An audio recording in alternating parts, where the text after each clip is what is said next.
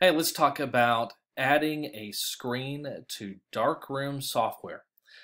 Right here we have our neon screen pack. It's one of our most popular screens. And uh, I'm going to show you how to add this in. It's going to be all the way through from the attract screen all the way down to the end instructions. So let's get started. You've already been on here, you've, you've added to cart, and you've downloaded. So we're going to head over to our downloads folder, which is right here, and you'll see our file. It's, it usually starts with PBG. We're going to click on that once. We're going to come up to the top and we're going to hit compressed folder tools. Okay, and then we're going to press extract all.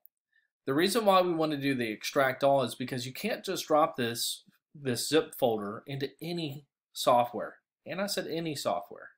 Won't work. So we got to get the MP4 files. Let's go next. So I'm putting this right back into the downloads folder. All right, so it popped up, and now we have all of our screens. So countdown, attract screen, look at the camera, looking hot, so on and so on. So next thing we're going to do is we're going to jump over to Darkroom. Here we go. Okay, next thing is we're going to, when we're in darkroom. This is a screen that you'll see that pops up first. We're going to come up to the top on output and we're going to come down to device control. It's straight down the middle, right above the start booth mode. Okay, we're going to hit that. We'll go ahead and uh, expand this so you can see this a little bit better. All right, down here at under the device on off actions, we're going to be in booth stages and we're going to start out with the attract mode. Okay, so we click on that. We're going to hit add. We're going to come down to video. And the very first thing I always do is I start with the settings. I go to loop video, maintain aspect ratio, and playback using full screen. And then I come up to our browse button. And then I'm going to click on quick access I'm going to come to downloads. And there's our folder for the neon set okay? And we're going to click it again.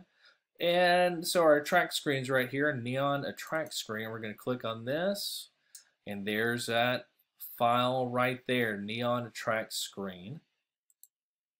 Now the numbers at the end that's actually for photo uh, that's for Fotomaster Mirror Me uh, software that was done before their their version 10 so that's you don't have anything to worry about with that.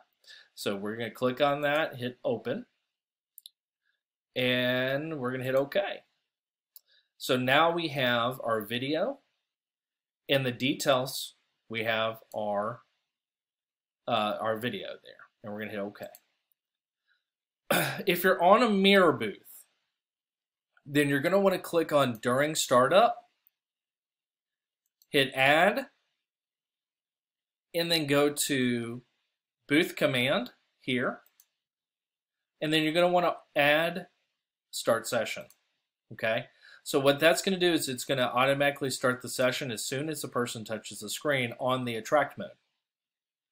If you do not want this, if you do not want the during startup and you want to have buttons there. So for example, you want a two by six button, a four by six button, a black and white, a, a Kardashian filter button, whatever it may be, you want it to go to an experience screen, then you just remove the during startup.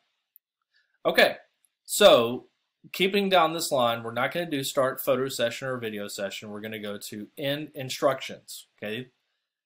And we're going to hit add video, browse, and then we're going to pop back and we're going to go to the thank you screen.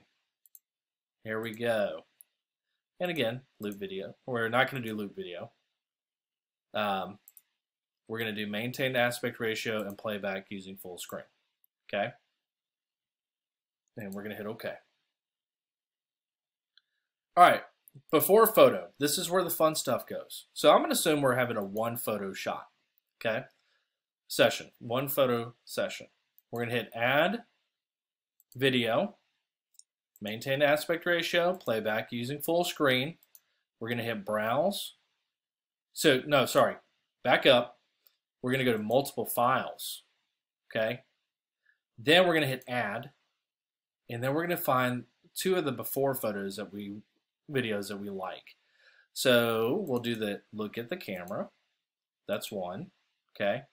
We're going to add another one, and that's going to be this is your moment, okay? Now what this does is because I added two screens there, it's going to randomly play those two screens on different sessions, okay? And I'll hit OK. Now, after photo, we're going to do the same thing. We're going to hit add, and then we're going to go to video. Again, maintain aspect ratio and playback using full screen. Hit browse, and then we're going to use, so Dreamy, oh,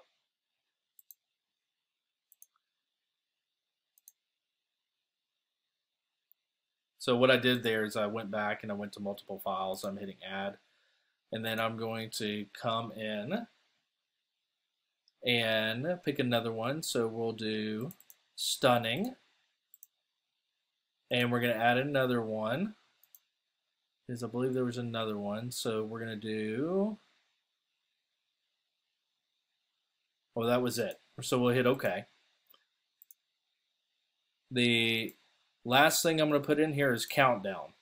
So I'm going to go in here, hit add video, and then add video, and then maintain the aspect ratio and play back using full screen. Hit browse, and then we're going to come into the countdown, and we're going to hit OK, and OK. And now we have a fully working video.